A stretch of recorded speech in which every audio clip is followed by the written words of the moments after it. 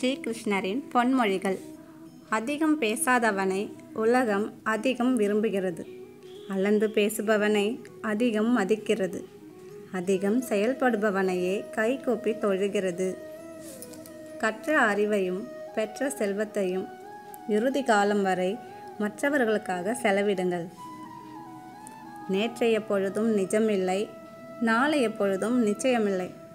இன்றைக்கு மட்டுமே நம் கையில். காலம் ஒவ்வொரு துன்பத்திற்கு பின்பும் கண்டிப்பாக ஏதோ ஒரு மகிழ்ச்சியினை ஒழித்து வைத்திருக்கும்.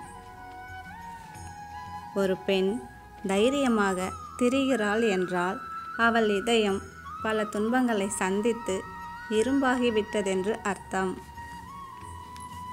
நாம் பேசும் வார்த்தைகளில் கவனமாக இருந்தால் போதும்.